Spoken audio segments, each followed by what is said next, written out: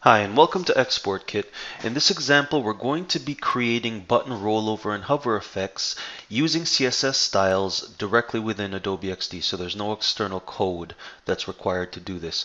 So if we were to export this as is what we're gonna get and we've already created our links and this is from a previous tutorial what we're gonna have in essence are basically static buttons so let's just actually go ahead and export this really quick. Let's take a look. So for the splash page, you can see although we do have the links assigned, we only have static buttons. And I say this because nothing is happening during the rollover or the click state. So you can see that, you know, we're doing it here, but absolutely nothing is happening. So if we want to change that and basically customize it, here is a very fast way to do this. So we're going to, in essence, create CSS styles using the content that we already have. So we know that we want to work with this rectangle. So let's just copy the rectangle element.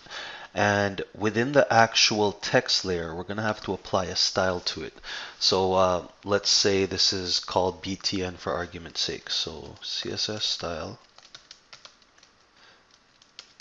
And we're calling this BTN. So what we're going to have to do is create a BTN style within our actual uh, pasteboard so this can be applied to any artboard that we have within our project. So uh, what we're going to do is we're just simply going to paste the object that we copied before. Uh, let's actually undo that. want to make sure that we don't have any artboard selected. Oh, it's still actually pasting within. So now that we have it within our pasteboard, uh, let's just work with it really quick. We know that we called it BTN, so let's simply just call this btn. And what will happen now is that the element, actually, let's undo this first and let's export first so you'll see what happens. Once we add a class element, what happens is it will strip it of all its native properties that are assigned within XD. So it will just become, in essence, a blank element. So you must create a class for that element. So you'll see here sign up has no no graphics assigned simply because it's an empty object right now. So to remedy that, we create a class for it which matches the style that we gave it, btn and btn. Let's just export now.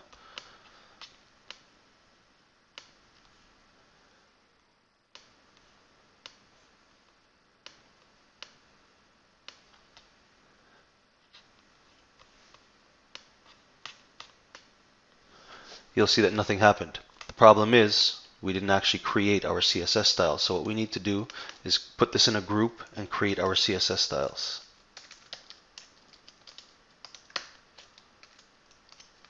That's it.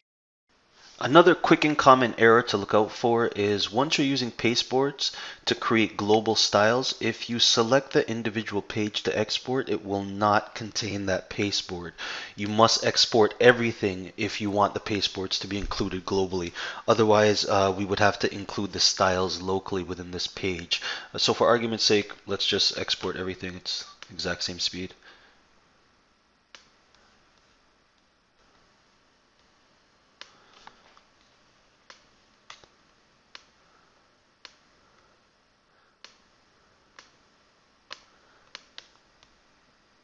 And we can see now that we have our style applied uh, to our sign up button.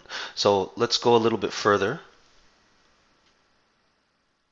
And what we're going to do is now we're going to apply a hover effect to that button. So let's go ahead, let's just copy this, let's paste it.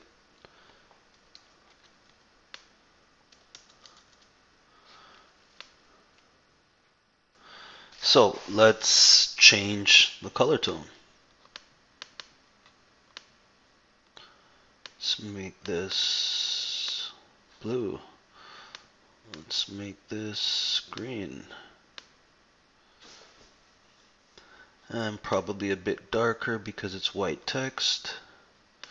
And there we go. Now what we're going to have to do is we're going to have to apply the actual CSS state, which in this case is hover. So the order that we place this is irrelevant um, simply because it'll apply it based on uh, the actual state of the element. But actually, let's just export it. It's not going to matter exactly where we put it. So you'll notice I selected nothing so that way it'll export everything within the project so the global styles will be applied. So now we have our button rollover. Now you'll notice here that once we roll over sign up, it no longer uh, continues that action. That's because we have a link on that element, uh, but we could have actually created a class link on the entire object. Oh, let's actually just do that quick just to show. So to fix this, what we're going to do is we're going to actually move our link tag. Well, we'll remove it actually, and we're going to create a class tag on the register button. This will allow us to control the entire button as an action. So let's make a class tag. Uh, we want to give it the href property. Now, anytime you're using class tags within elements themselves, what you have to do is you must define uh, the properties that you want to use. It will not contain any native uh, properties from XD. So let's just give it a href to register. Now, because we have a button here, and you'll see that within our actual classes, we're going to have to change this and remap it slightly, uh, but it won't be too big of a deal. So let's actually see how we can deal with that. Uh, so what we're going to do is we're going to take these and we're actually just going to put them, actually let's make this faster. Let's remove this, let's put this in another group. So we're adding basically an anchor uh, around our entire register button. Let's just call it register link. So we have our class, our anchor with our href. Now register button, what we want to do is we want to control the entire object so that way we don't have any mouse actions uh, populating over one another. So let's give this a style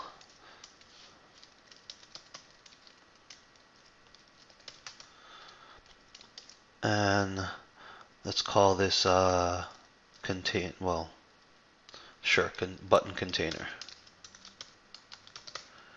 There we go. So now we have our button container style with our button. Uh, let's actually rename these because uh, to be more precise this is the background. So let's call this BG while this is now the button. So let's call this BTN so we now have a BTN as a container with a BG inside. So we want to control these separately. So rather than these being called BTN, these are now actually the BGs.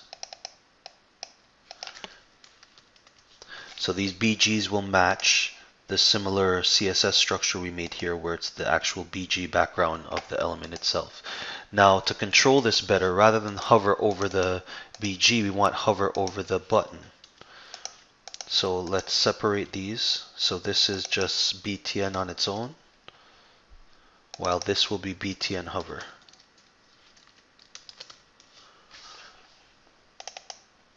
Oops. So now we have two groups. One is the button and the background on its own. The other is the button on the hover state with the background.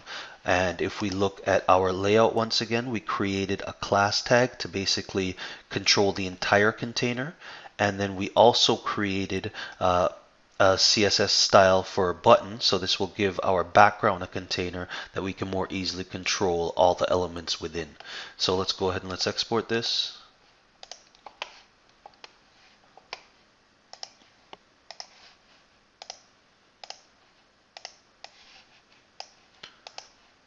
So now you'll see that we can have full rollover without any of the mouse uh, actions being mispopulated. So we can basically have a rollover of the entire container and we still have our anchor link so it will actually go to the original anchor. So this is quick and easy button rollovers with Export Kit and CSS and Adobe XD.